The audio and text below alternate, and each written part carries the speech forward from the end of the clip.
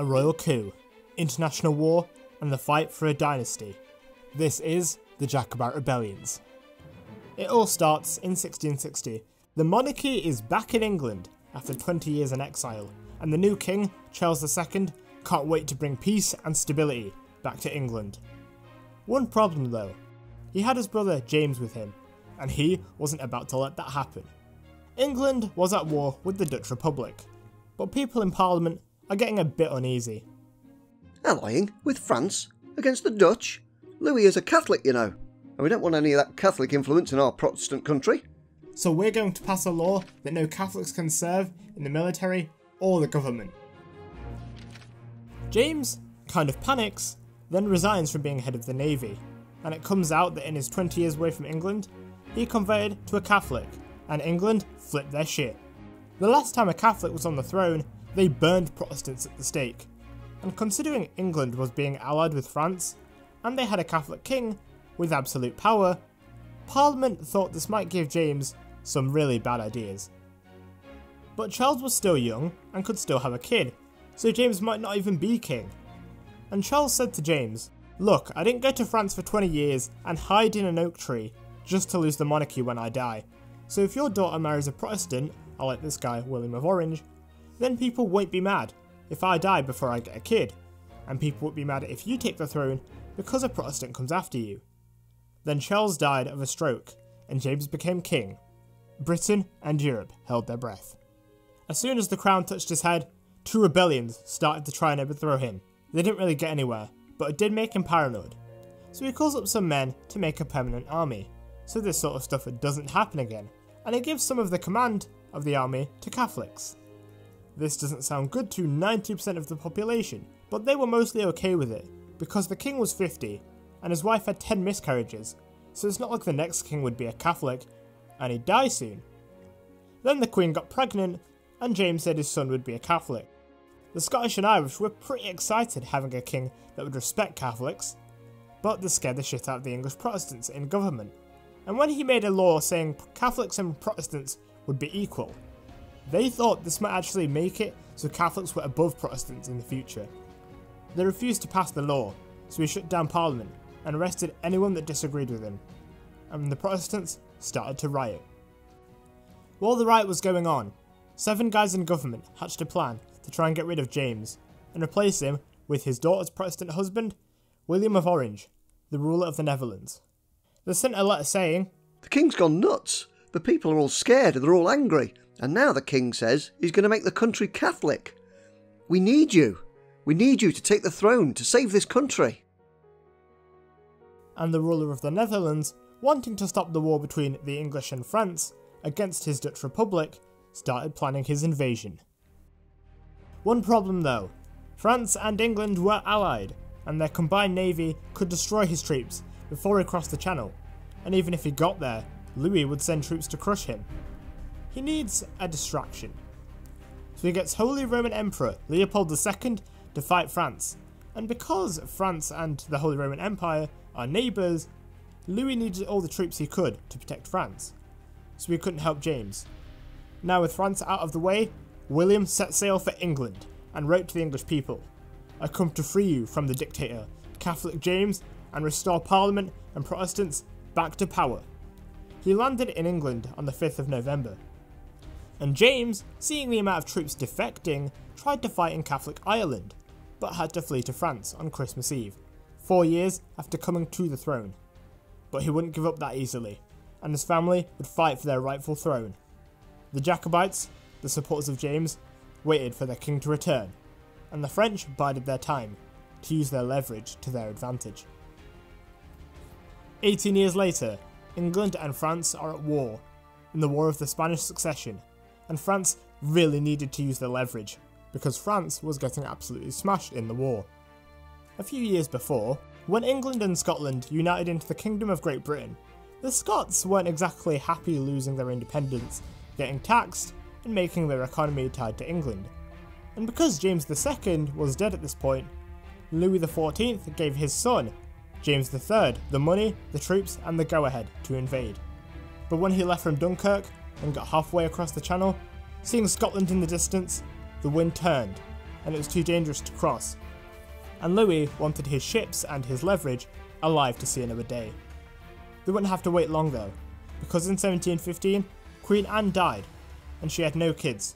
She wrote to James, Look, I've got no legitimate heirs because I can't produce a child, so your son, James III, can be king, as long as he converts to Protestantism. James said, No, I was born a Catholic and I'll die a Catholic. This would be the most stupid mistake he ever made. So when she died, the crown skipped over 42 Catholic heirs to the throne to land with King George I of Hanover, a German that didn't speak a word of English. England was pissed, and having an English monarch didn't seem so bad in comparison to the German one. And they began to plan another revolt. At the same time, an election was happening in Parliament, and the Whigs beat the Tories. The Tories didn't like losing, and wanted the Jacobites back, so the king could shut down Parliament and replace it with the Tories in power. Lord Mar, one of the guys that lost power after the election, went to Scotland and called for men to join him to first control Scotland and then invade England to restore the Jacobites and overthrow the government and this German king. This guy was Secretary of State though, and he had no business leading an army. And when England finally responded and sent an army, even though Mar outnumbered the English 3 to 1, when he finally faced them, he lost twice as many men. And he had to retreat. This really depressed the Jacobites, and even when James III landed in Scotland, even the sight of their king couldn't get them to continue the fight. And worried that he'd be captured, Mar and James fled back to France. King George showed no mercy, burnt homes and massacred anyone that supported James, and the cause seemed hopeless. The next year, France made peace with Britain, and Louis had to kick James out of France. But since he was a die-hard Catholic, on a continent mostly full of Protestants, he got invited to the Papal States by the Pope. It was here the last hope for the Jacobites was born Bonnie Prince Charles, James's son, and he waited for his turn to take the English throne. Thirty years later, James III is 56, and Bonnie Prince Charles saw his chance to invade, because Europe was at war again in the Austrian War of Succession, and pretty much everyone was fighting each other. And when France and Spain allied, three years in, they both realised this Jacobite king could be useful. Charles was ready to be an absolute monarch, with no parliament to question him, and he'd waited long enough. And seeing that most of the troops in England were away fighting on the continent, he saw his chance. So he got a bunch of guns, ships, and men together to invade Britain by going to Scotland. But like the last invasion, as soon as they left port, wind smashed them back into the port. But Bonnie Prince Charles wasn't going to give up like his dad. He couldn't waste the opportunity.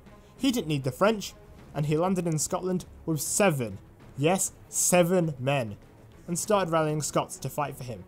And a thousand people marched with him to Edinburgh, where they claimed him King of Scotland. The governor in Scotland that was appointed by King George, now King George II, only had 700 men to fight with, and they were raw and untrained, and they got smashed by the Jacobites. The government crapped themselves, and then called the Duke of Cumberland, who was fighting against the French in Belgium, back to London with 12,000 troops to crush the revolt. The Jacobites started to argue with each other. Look, we have the troops, protect Scotland, and then they could leverage their troops to make a peace treaty. But Prince Charles was like, No, I'm in sight of London. People will welcome me with open arms. But the French weren't coming this time, and the troops they got in England weren't enough. And Charles admitted he didn't really get any messages of support from England.